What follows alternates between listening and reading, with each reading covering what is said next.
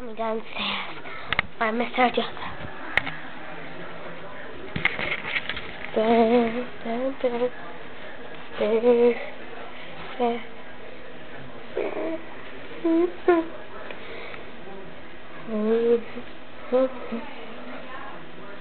her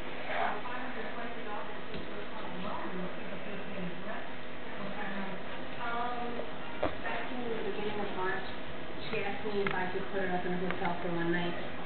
It then turned into, she was staying with boyfriend. That's your brother's hat. You need to give that back to him. something like that. He's here!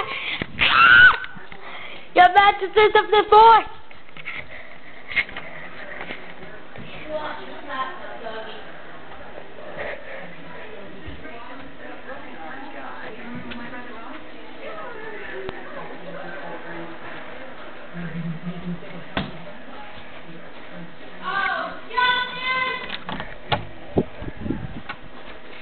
for Hey, hi, Joseph Chavin.